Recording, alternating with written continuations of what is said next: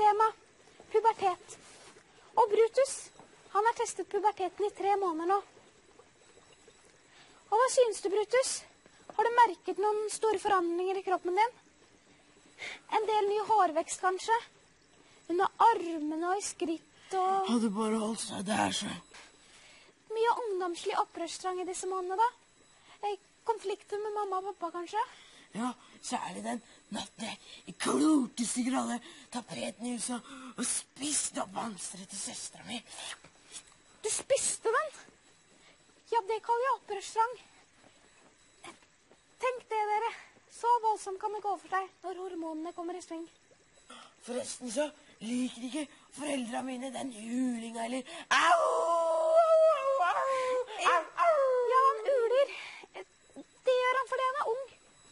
Og, og, og kanskje fordi han prøver å, prøver å finne seg sjøl. Hvem vet. Og jentene, da? Hvordan går det med dem? De, de flykter bare. De ser meg. Så så, Brutus.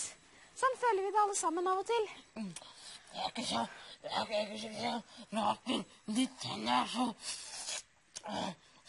Det er godt vart. det bare én en gang i måneden. En gang i måneden.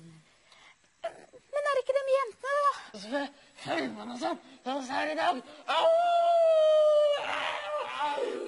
Brutus, Brutus, jeg tror ikke dette er puberteten likevel. Ja.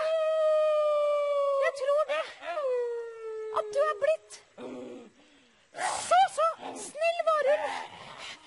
Dekk!